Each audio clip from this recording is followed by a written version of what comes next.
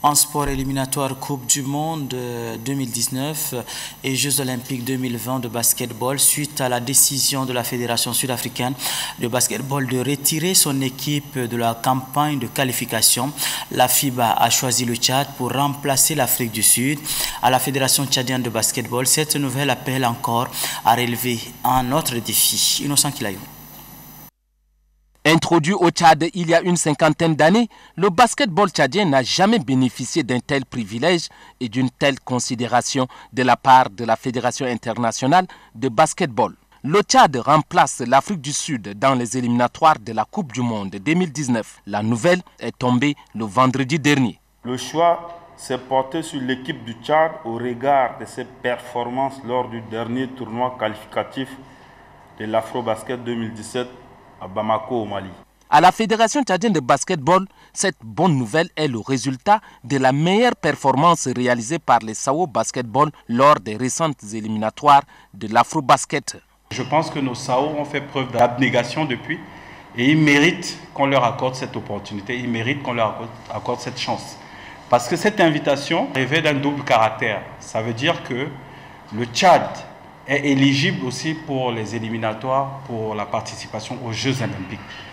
Donc en gros, c'est Coupe du Monde et Jeux olympiques. Comme les éliminatoires commencent déjà le 23 de ce mois, le staff technique annonce qu'il est déjà à l'ouvrage pour mettre en place une équipe compétitive. Cette équipe affrontera le Cameroun, la Tunisie et la Guinée-Conakry. En football, les cinq euh, pays africains qualifiés pour la Coupe du Monde Russie 2018 sont déjà connus. Il s'agit du Nigeria, de la Tunisie, de l'Égypte, du Maroc et du Sénégal. La présentation des ambassadeurs euh, africains à la campagne Russie 2018 avec Innocent Kilayo.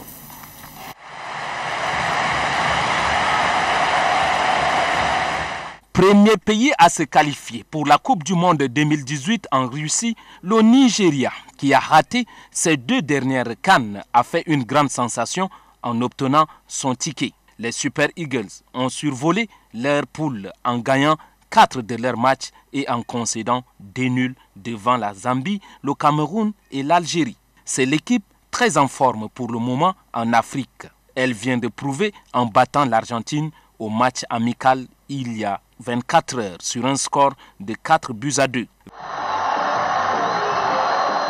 28 ans d'absence à la Coupe du Monde, les pharaons d'Égypte retrouvent enfin le chemin de cette prestigieuse compétition mondiale. Un retour en force pour l'Égypte qui fut le premier pays africain à participer au mondial de 1934. Pour le Maroc, l'attente fut moins longue, mais a duré tout de même 20 ans. Les hommes d'Hervé Renard ont arraché leur qualification en battant les Ivoiriens à domicile. Le Maroc a une équipe avec gros potentiel pour démontrer en Russie. Il en est de même pour les Aigles de Carthage de la Tunisie qui étaient absents lors de la Coupe du Monde de 2014. Les Tunisiens ont tenu leur rang dans une poule où la RDC est passée à côté de ses performances. La cinquième équipe qui complète la liste des pays africains qualifiés pour la Russie 2018 est le Sénégal. Ce pays doit beaucoup à son entraîneur Alun Sissé. Cet ancien joueur du Sénégal, devenu entraîneur, a bâti une équipe redoutable qui est partie défier les Sud-Africains à domicile. Les cinq pays africains doivent attendre le verdict de tirage au sort des poules prévu le 1er décembre 2017.